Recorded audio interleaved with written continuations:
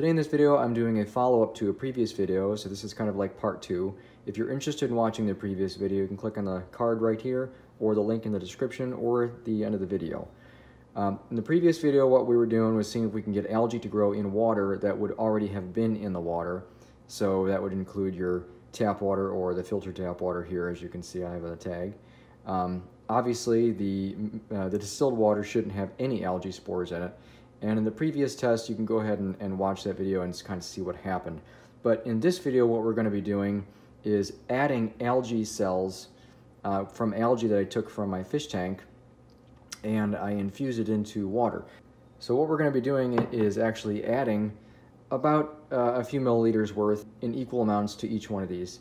Now here we have the tap water. This is for the newcomers. I already explained this in the previous video, but uh, tap water, this is before my whole house filtration system, uh, so that it would actually have been chlorinated, uh, but it's been vented off and it shouldn't be any, there shouldn't be any more chlorine in it. Uh, filter tap water, that's basically coming through my 5 micron filter and then through a carbon filtration system, which is quite large and it's uh, brand new media. And there's also a post filter for larger sediment. Uh, the remineralized distilled water is basically just the distilled water that was dumped into this bottle and I've added salty shrimp GHKH plus. Uh, throw it up on the screen if you want to see what that is. And basically what the idea of this test is, is to see if we can grow algae that I'm adding to the water, if it will take hold with uh, nutrients and minerals that might be in the water already. This kind of goes along with how some people think if they use reverse osmosis water in their tank, uh, they're going to get rid of their algae problems or anything kind of anything kind of like that. Uh, aside from using tap water.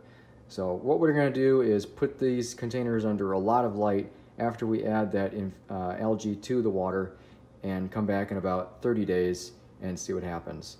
All right, it's been exactly 30 days now and I have some very pleasing results. I'm always happy to see when experiments kind of go the way I expect and I'll show you that in a second, but first I wanted to mention what I didn't mention in the first part of this video was that these containers have all been sterilized. Uh, I washed them with Star San and then I put them in the oven for a few hours at 285 degrees. So they were completely sterilized before I did this experiment.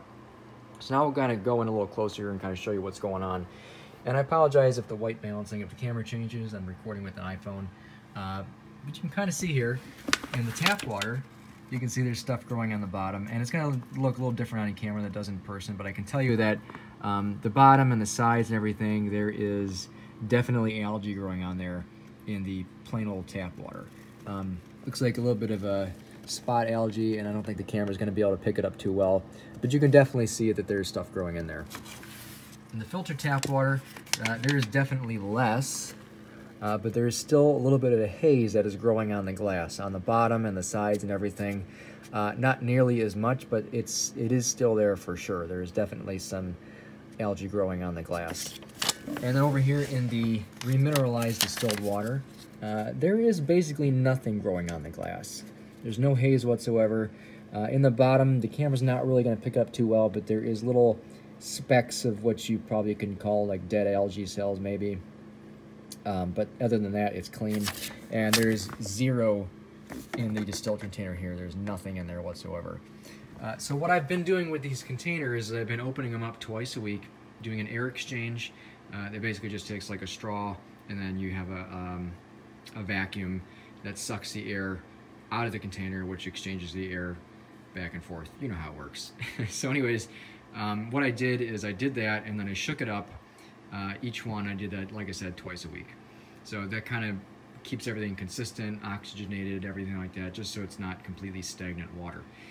So now what we're going to do, now we determined that there is definitely a difference between these types of waters that we, you would use in an aquarium. We are going to add this right here, which is nitrogen.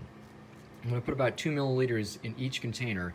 And the reason why I'm doing this is because we've already seen that there is enough organics in tap water or enough minerals and nutrients for algae to take hold. Um, and the filter tap water, you can see that there is definitely less.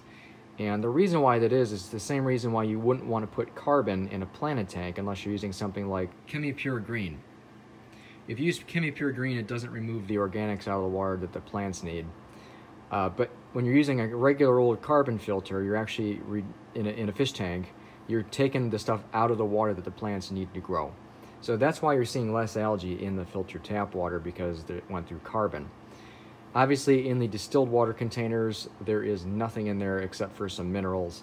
Um, so there really is nothing for the algae to take hold in there as well.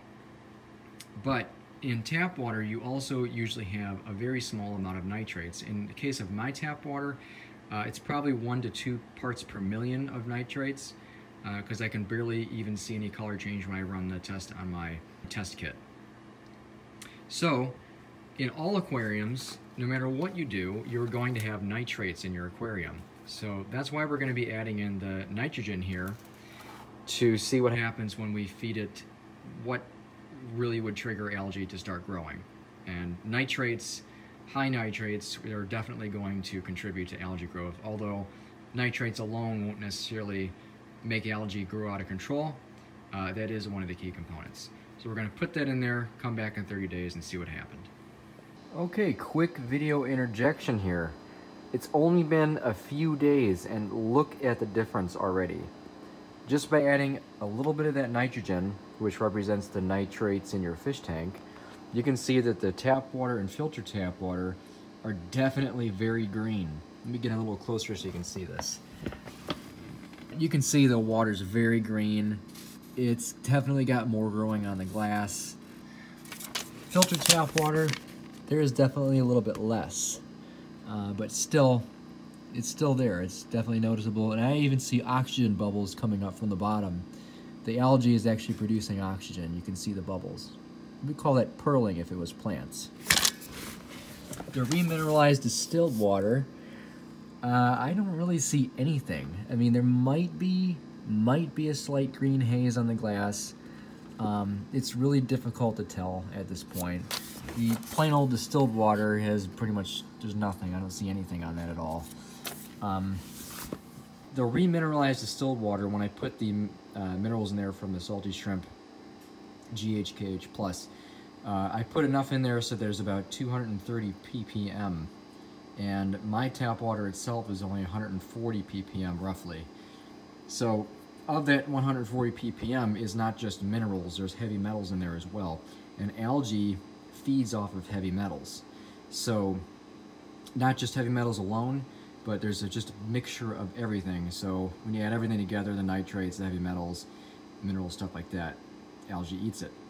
Um, this is why you're not seeing much of anything happening in the mineralized distilled water because even though there's plenty of TDS in there, a lot of that is not heavy metals. And we just put nitrogen in there and it still hasn't picked up any kind of growth. So like I said, nitrates alone isn't going to cause an algae bloom but when you add other stuff to the mix, such as heavy metals, which is what tap water has, and also phosphates and stuff like that, that's how you're going to get an algae bloom. It's just basically a, a perfect concoction. So I just wanted to kind of mention that because it's quite obvious. And before we get into the next segment, I wanted to make sure this was kind of documented here to see the progress in just a very short time. Okay, so it's been about one week since we have added the nitrogen to each one of these containers and I can see that the algae bloom has subsided and it is no longer getting any worse. The remineralized distilled water has gained some algae, uh, but it's not increasing anymore. It, matter of fact, it's about one third of the amount of algae that is in the filtered tap water and the tap water. And the plain old distilled water has absolutely no algae growth whatsoever. It's not even the least bit green. And it's just like I said, nitrates or nitrogen alone isn't going to cause an algae bloom. It's the perfect concoction of everything else that's in there that causes it, such as your heavy metals, phosphates, and silicates. Um, silicates would be more for diatom blooms, but it's pretty much the same thing. If you have a lot of heavy metals in your water, that's going to definitely contribute to your algae growth. Um, so at this point, what we're going to do, since it's not going to be growing anymore as it is, and as a matter of fact, the color of the water, the color of the algae is kind of turning towards more of a kind of a lime green yellow color. And it's going to look different on camera than what I see in person. But um, at that point, it's going to be probably starting to turn more towards a brownish color. And that means it's going to be dying back. So at this point, what we're going to be doing is adding this uh, plant fertilizer. This is this is Thrive S. This is for shrimp tanks. It just means it doesn't have any copper in it.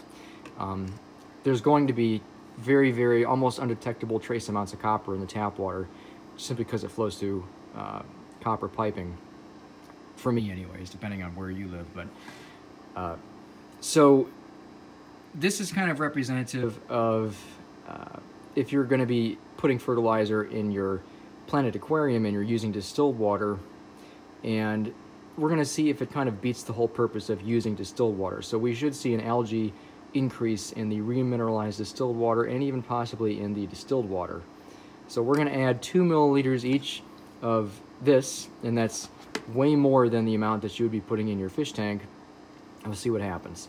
And then once we see the algae bloom either I increase or stay the same, we're going to be adding Excel to one of these containers and seeing if that actually removes the algae because Excel is naturally an algicide, which is glutaraldehyde, but this is more so used as a carbon source for planted tanks to help your plants grow. So we're going to add the fertilizer, and then we're going to come back in about a week and take a look. Okay, it has only been a few days since I have added the fertilizer to all of these containers, and the results are already in. Uh, there's no need to continue any longer. Uh, I don't think it's going to get much worse than this, honestly. But now we can see that the remineralized distilled container is looking almost just as bad as the tap and the filter tap containers. Now we are going to be adding the Excel to the tap water, but before we do that, let's have a little discussion about what you can take away from this and what this means. So everybody struggles with algae in their aquariums at one point or another. But if you continuously are struggling with algae, it's usually as a result of maintenance.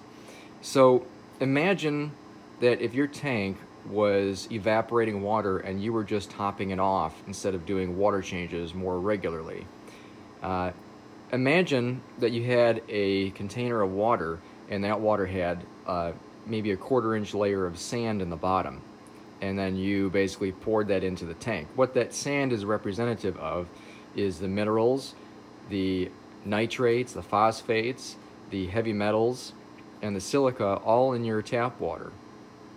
So you have a quarter inch layer of that in the bottom, you pour it in the tank, that's evap you, you, more water evaporates out of the tank, and then you come back with another container of that water with the sand in the bottom, you pour it in there, and the water evaporates. Eventually what you're going to have is a half a tank or, or more filled with sand because everything that's in your tap water, uh, the total dissolved solids, TDS, that does not evaporate out of the water all that just continues to build up in your tank until, until it gets up to toxic levels.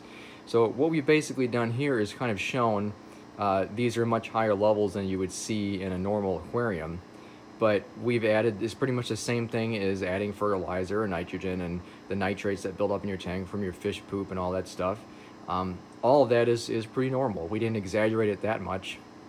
But over time, if you were to not do regular water changes, you're going to get algae buildup just like this because all those levels are going to be exceeding in your tank. So what we can take away from this also is that if you have a planted aquarium and you are feeding it fertilizer to grow the plants, you can see right here, it's very clear that it's using remineralized distilled water is not going to prevent algae growth. Not at all, because you're basically putting in the tank what you're trying to avoid with remineralized distilled water. The benefit that you're going to get from remineralized distilled water is just the fact that you know what's going into that water and you don't have to worry about anything that could be toxic for sensitive creatures such as shrimp. Um, now, there's nothing wrong with reusing distilled water or reverse osmosis water or even rainwater if it's sterilized, um, depending on how you collect the rainwater and everything, but still, uh, absolutely nothing wrong with it. It's actually highly recommended. But if you are going to top off your tank with water, you should be using either uh, plain old distilled water, rainwater, or reverse osmosis water. Pure water with zero TDS, so that you're not building up those things in your tank. Uh, when you're doing water changes, you want to use remineralized distilled water, or remineralized reverse osmosis, or, re or remineralized rainwater. So, now what we're going to do is add the Excel to the tap water and we're going to come back in whatever amount of time it takes and see if that algae actually goes away on its own compared to the rest. There is one thing I'm going to also mention is the distilled water, even though I added everything to it, still has absolutely nothing growing on it whatsoever. And there should be algae growing in that right now. after adding the nitrogen, nitrogen and the fertilizer, there's no reason why it wouldn't take hold. The only reason I can think of right now is the fact that it has, uh, the cells that had added to that probably have died because it's been added to pure water. There's absolutely nothing for them to survive on whatsoever. So what we're gonna do is at the same time, we're gonna take a new bottle of distilled water. We're gonna infuse some algae into that water and add the fertilizer and the nitrate, nitrogen, and we're gonna come back at the same time as we look at the tap water after we add the Excel, and we'll see what happens to that. Okay, we're back. It's been about four days since I've added the Excel to the tap water and the filtered tap water. Uh, over here, the remineralized distilled water, I did not add anything to that. And over here on the right, this is basically the tap water experiment over again. And this is just to see if there is any algae in my tap water. And I'm just doing this over again because it's not science unless you can repeat it. So basically what I've done with that is add one milliliter of the fish tank fertilizer and two milliliters of the nitrogen. Uh, did not put any algae spores into that. Obviously that would be the whole purpose. And then the distilled water over here, what I did is I added one milliliter of the fish tank fertilizer and two milliliters of the nitrogen and took some algae cells that was infused into the remineralized distilled water where I did not add the Excel and put it in there just like it did to start off this whole experiment. And so far I'm not seeing anything happen in the distilled water at all. Um, I'm gonna leave this for a little while longer, but I think the reason why algae is not really taking hold, just like the last time, is because there's no minerals in it at all, or, or I should say hardly any. Uh, so let's talk about the Excel. So over here, the tap water and the filter tap water both had Excel added. The only difference is, is the filter tap water, I only added four times the recommended dosage. And the reason why I did it that way is because when you're adding Excel to a fish tank, in some cases you're adding it every day, sometimes twice a day, and it's easy to build up the amount that's in your tank to four times the recommended dosage. And in this case, the half a gallon is about 2 point, or 0.25 milliliters that I've actually added to it. So it's about three drops. And over here, the tap water, I added 16 times the recommended dosage, and you can clearly see it's worked. Um, the algae is basically dying at this point. It's like this uh, uh, very light banana peel color.